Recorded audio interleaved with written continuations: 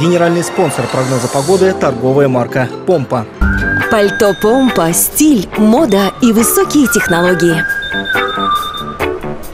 Будем смотреть глубже. Да не вопрос. В пальто Помпа комфортно в любой ситуации.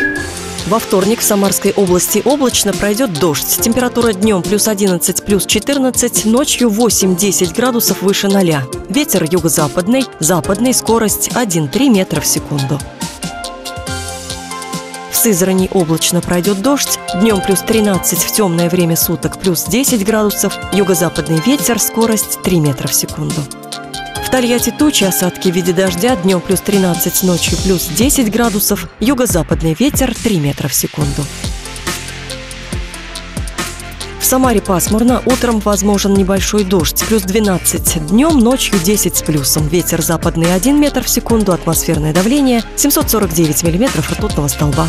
Влажность воздуха 57%, в геомагнитном поле небольшие возмущения, малая геомагнитная буря. Не дышит нос? Ответ один. Иди в амбулаторный центр номер один.